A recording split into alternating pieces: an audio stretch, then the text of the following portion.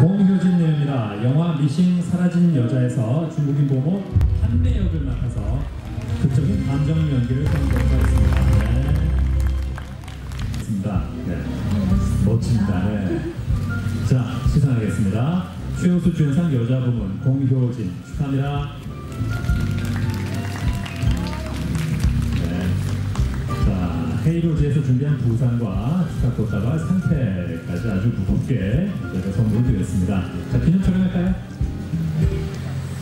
음, 오는 길 날씨도 너무 좋은 날이어서 싱숭생숭했는데 또 반가운 분들도 많이 겪고 있고 아, 이렇게 자연이 너무 아름다운 곳에서 정말 말벌이들이 축하식을 이 자리에 어, 참여할 수 있게 돼서 너무 영광입니다. 음, 음,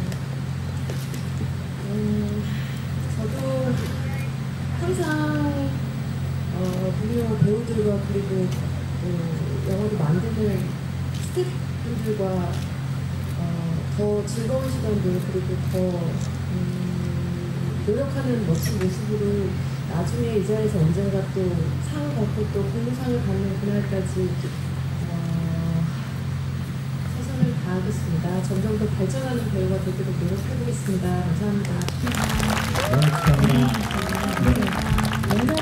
보내고 싶은 여자입니다. 네.